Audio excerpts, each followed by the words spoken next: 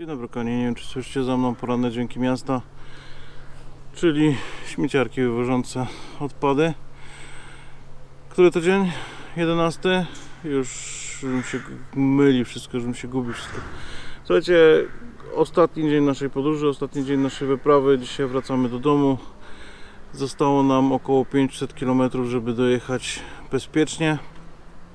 Nie napinamy się, nie spieszymy się Celem na dzisiaj jest po prostu bezpiecznie dojechać. Siódma godzina, wstaliśmy o wpół do szóstej, barbarzyńska pora, pakowanie, żeby niczego nie zapomnieć.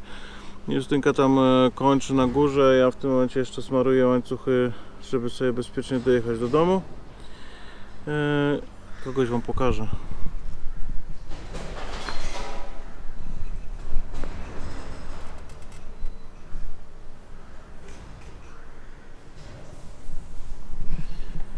Mam widownię.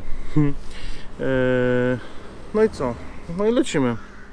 Trasa będzie znana, bo lecimy tą samą trasą, którą przejechaliśmy, prawie tą samą trasą, którą przejechaliśmy tutaj, czyli przez Stokaj, Koszyce, eee, Nowy Sącz, ale potem odbijamy na Limanową, żeby nie jechać właśnie tym w kółko, będę powtarzał tym odcinkiem, którego nienawidzę. Dobra kochani, pakujemy się, no i w drogę.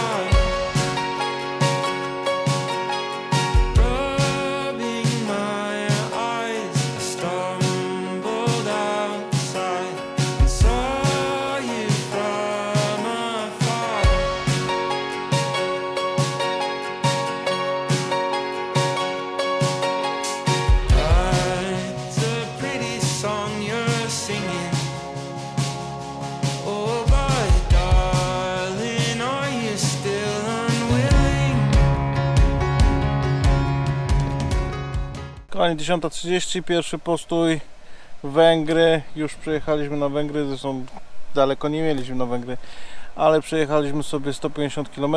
Pierwszy popas, e, musimy coś zjeść, jesteśmy zmięci, już tym wyjazdem jesteśmy zmięci e, wczorajszą nocą, bo późno poszliśmy sp- spać, ale powiem Wam, że im bliżej domu, tym mniej mi się chce jechać. No, tak coraz coraz wolniej, coraz wolniej, najchętniej bym już nie wracał. A z drugiej strony tęsknię już do domu, już bym chciał być w domu.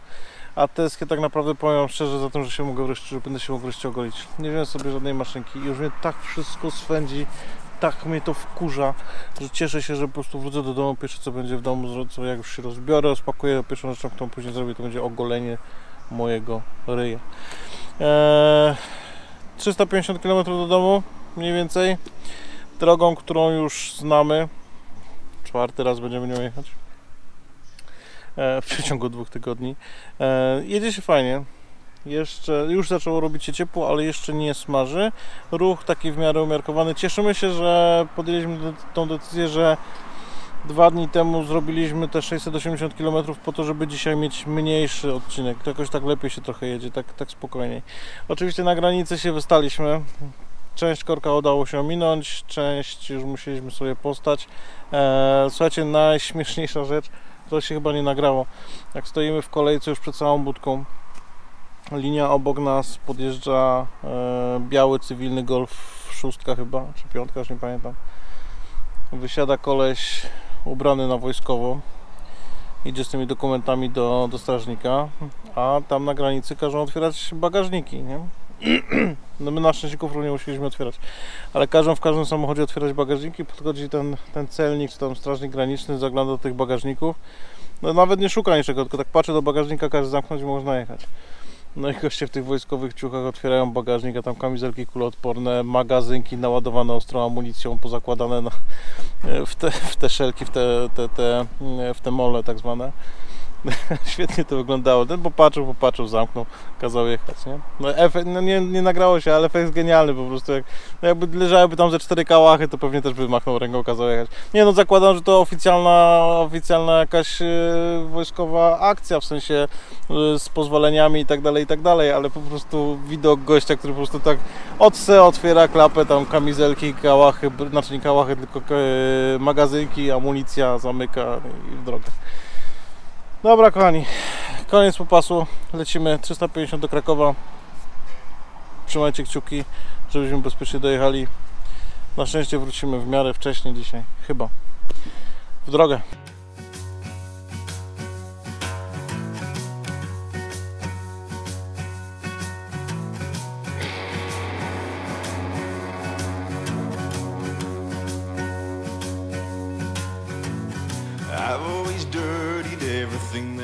Szczerze mówiąc, moi drodzy, to montując ten film, czułem to samo fizyczne zmęczenie, jak tego dnia uwidocznionego na filmie. Empatia level 1000. Sami widzieliście na samym początku dzisiejszego materiału, jak wyglądałem. Wytyrany jak koń po westernie. Ale niczego nie żałuję. Zdecydowanie potrzebowałem takiego wyjazdu. Takiego kompletnego resetu. A skoro już przy temacie wyjazdu jesteśmy, to w zeszłym tygodniu wspomniałem, że ten wyjazd był wyjazdem pierwszych razów. Bo tak na dobrą sprawę, jak się człowiek głębiej zastanowi, to po raz pierwszy. Pojechaliśmy sami, zapomnieliśmy dokumentów, zawróciliśmy z granicy, położyliśmy synchronicznie obie maszyny, byliśmy w Serbii, byliśmy w Bułgarii, byliśmy tak daleko na południe, byliśmy tak daleko na wschód, Pojechaliśmy na motocyklach na tak długo, pokonaliśmy tyle kilometrów podczas jednego wyjazdu, próbowaliśmy bułgarskiej kuchni, zwiedzaliśmy tak stare zabytki, przeprowadzaliśmy wywiad, siedzieliśmy w kawiarni delektując się kawą. I pewnie jeszcze trochę pierwszych razów bym naliczył, ale nie chcę już szukać na siłę. Te były najważniejsze. Takie kamienie milowe naszych podróży.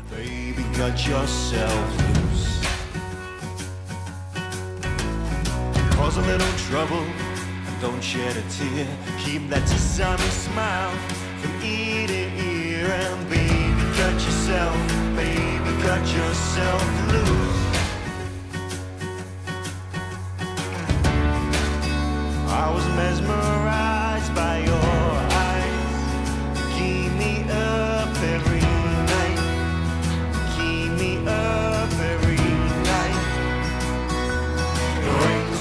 Za każdym razem, gdy wracam z takiej wyprawy, to mówię potem, że to była wyprawa życia. Mojego życia. I może komuś wydawać się to śmieszne, bo przecież to raptem 3000 km. Jednak, jak słyszeliście przed chwilą, z każdym wyjazdem robimy coś po raz pierwszy, za każdym wyjazdem przekraczamy pewne granice. Mentalne, organizacyjne, logistyczne, wytrzymałościowe. Jeśli do tej pory nie wybrzmiało to jeszcze wyraźnie, to na wszelki wypadek powiem to na głos. To są nasze granice i nasze pierwsze razy, z których jesteśmy bardzo dumni. Na bicie rekordów przyjdzie jeszcze czas. Już Greg jak wie jakich. Bo chociaż może się tak wydawać, ja jednak nie zapomniałem o pewnym szalonym planie. Ale wracając do meritum. To dopiero trzecia nasza wyprawa motocyklowa. Każdy od czegoś zaczynał. Ważne, żeby nie osiadać na laurach, tylko nieustannie podnosić sobie poprzeczkę. I takim też będzie wyjazd w 2024 roku. Pod wieloma względami jeszcze trudniejszy i jeszcze bardziej wymagający od Bułgarii. Nie jakoś bardzo, ale jednak. Semper in altum. Przenośni, ale i dosłownie. Oraz per aspera ad astra. Ale o tym, co nas czeka podczas kolejnej wyprawy, opowiem innym razem.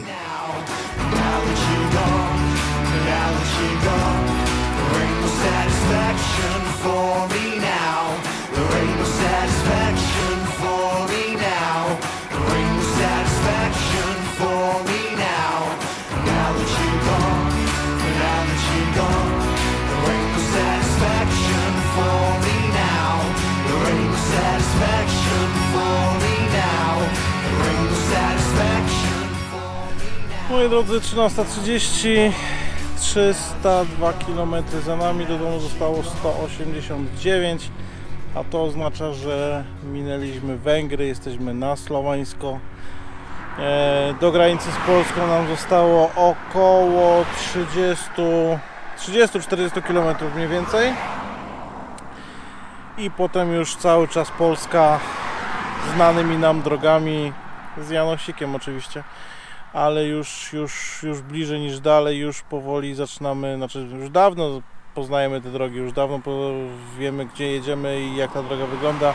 Nie jedziemy w ciemno, już każdy kolejny kilometr przybliża nas do domu. Jeszcze głos Sofu Wam podsumuje wszystko, co dotyczy tego wyjazdu, czyli ile kilometrów i tak dalej, i tak dalej. Przypominam, że mm, za tydzień od dzisiaj dla Was, bo dla nas pewnie trochę dłużej, jak odpoczniemy i zbierzemy myśli, zrobimy odcinek podsumowujący cały wyjazd.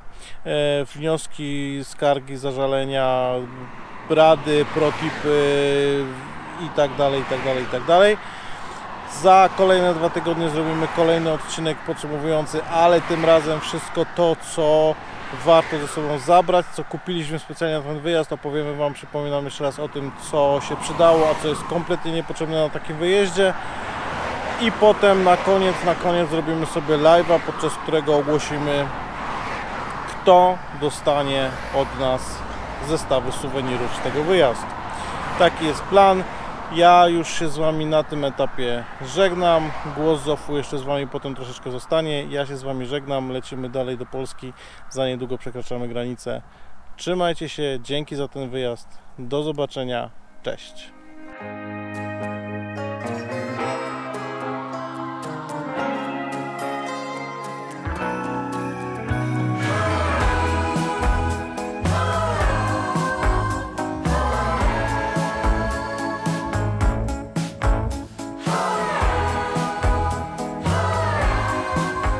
Nie da się ukryć, że krajobraz jest nam dość dobrze znany. Chociaż ostatnim razem przejechaliśmy tę trasę w tą stronę po ciemku. Wiemy jednak dobrze, że jeśli zatankowaliśmy na znamiennej stacji na Węgrzech, to bez tankowania dojedziemy do Krynicy. A że tym razem jedziemy za dnia, to i nie musimy się martwić, że stacja będzie zamknięta. Co więcej, nawet hot dogi będą, bo jak się okazało dwa tygodnie temu, nie jest to takie oczywiste o 23. Jeszcze tylko trzeba odstać swoje w kryńskich korkach i meldujemy się na stacji. Tutaj szybko okazuje się, że raczej na sucho do domu nie dojedziemy.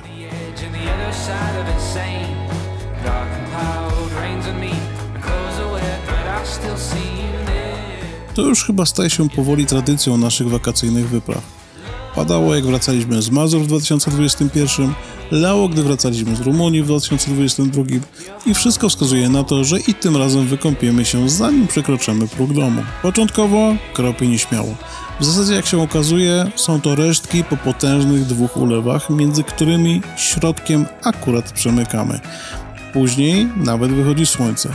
Jednak gdzieś w dalekich zakamarkach naszych głów zagnieża się dość przerażająca myśl. Mieliśmy naprawdę dużo szczęścia, bo niewiele brakowało, a znowu jechalibyśmy przez oberwanie chmury, takie jak pierwszego dnia tej wyprawy w Rumunii. Uświadamiają nas o tym pędzące co chwila to w jedną, to w drugą stronę wozy straży pożarnej. Nie wiem czemu, ale nie robi na mnie wrażenia policja ani karetka na sygnale. Może już się uodporniłem, bo jednak częściej te służby się widzi. Jednak widok i dźwięk pędzącej OSP czy PSP sprawia, że mam gęsią skórkę i coś we mnie się odzywa. Może to częstotliwość tej syreny, może widok pędzących kilkunastu ton, a może świadomość, jak trudną, wyczerpującą i niebezpieczną pracę mają ci ludzie.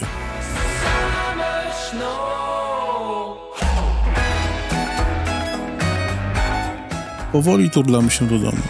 Tempo bardzo niskie, ale jest to świadomy wybór. My jesteśmy już bardzo zmęczeni, a droga mokra i śliska po deszczu. Czujemy, że chcielibyśmy już być w domu, że znamy już te drogi i zakręty, że przecież zostało tylko kilkadziesiąt, kilkanaście, kilka kilometrów, że gdybyśmy odkręcili trochę mocniej manetki, to bylibyśmy w domu 5, 10, 15 minut wcześniej. Ale czy warto? Czy warto aż tak ryzykować dla kilkunastu minut? Jako instruktor doskonale znam statystyki. Najwięcej wypadków zdarza się w odległości od kilku do kilkunastu kilometrów od domu. Bez sensu byłoby położyć maszyny na ostatniej prostej. Lepiej odpuścić i dojechać odrobinę później. Ale dojechać.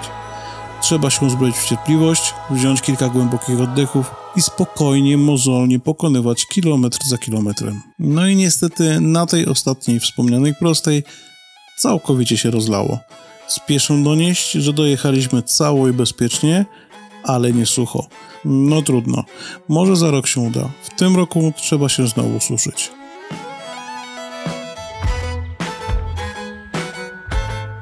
I to już koniec naszej wyprawy. Cudownej, bajecznej, kompletnie zaskakującej, męczącej, stresującej, frustrującej, ale i powodującej dużo uśmiechu i radości wyprawy. Niczego nie żałujemy. Każde doświadczenie bierzemy na klatę. Nie popełnia błędów, kto nic nie robi i tego się będę trzymał. Spotkaliśmy wspaniałych ludzi, odwiedziliśmy przepiękne zabytki, zobaczyliśmy zapierające dech w piersiach budowle wzniesione siłą ludzkich rąk, jak i bajeczne twory natury. Zdecydowanie było warto. Bułgaria jest warta odwiedzenia. Niedźwiedzie polecają. Ale o tym opowiemy za tydzień w podsumowaniu wyjazdu. Do zobaczenia, trzymajcie się, cześć.